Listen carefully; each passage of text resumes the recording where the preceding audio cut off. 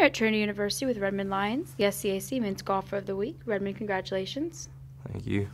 The team competed earlier this week at the Shriner Spring Shootout and finished third.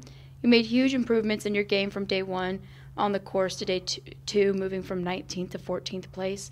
What was working for you on the second day that allowed you to be so successful? Um, I think as a team, we put a lot of work in the off season into decision making and just uh, maybe working what the statistical better choice is versus what we feel like we can and can't do. Um, so I think for a lot of guys, I know Coach followed Will Street a lot of the day, and they did some decision making stuff on course, and obviously it worked for him. He shot 67. So um, and then we've got some mature freshmen on the course too that are just playing awesome golf. So all around it was a really solid team effort. I mean, anytime you go 11 under as a team, that's that's pretty special. All right, so your second round score of 66, which was six under par, is the lowest in Tiger uh, history books. This 27 team score also beat the record this team set earlier this year at the Tiger Open for the best team score in school history. Talk about what this accomplishment means to you individually as well as the rest of the team. Um, you know, I know for me, the big thing was, I mean, I, felt so frustrated coming in to that event. Um, two years running, I gotten injured right before it, and I, I really love that event. I mean, I've come second, fourth, and sixth, so for me, that's probably my favorite event of the year, and I feel like I generally play the, play well there.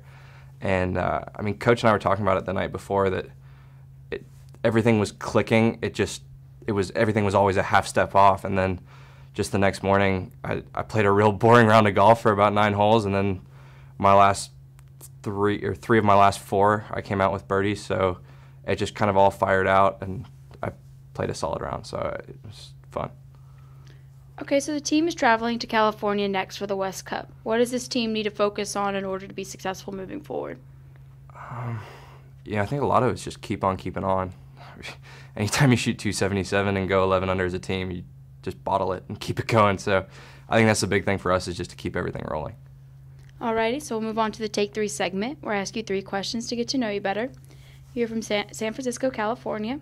Since golf competes in both semesters, you probably don't get to travel home very often. Uh, what do you look forward to most when you do get the opportunity to go back home? Uh,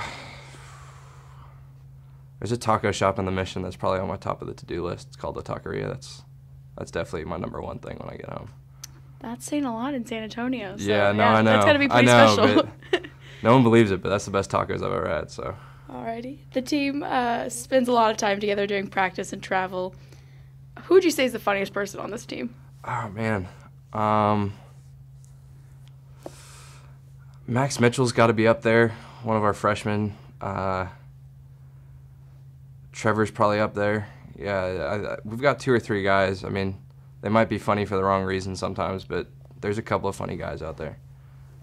So, if you could trade places with anyone in the world for a day, who would you choose and why?